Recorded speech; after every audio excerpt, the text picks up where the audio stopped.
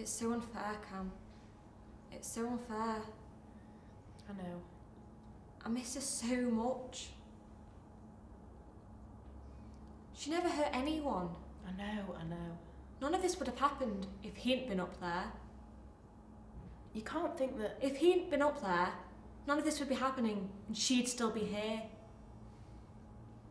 It was an accident. It was an accident, Frankie. She was only trying to help. I don't know what to say to Tony. She keeps looking at me and I don't know what to say.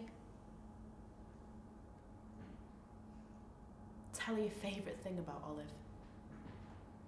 Your favourite thing.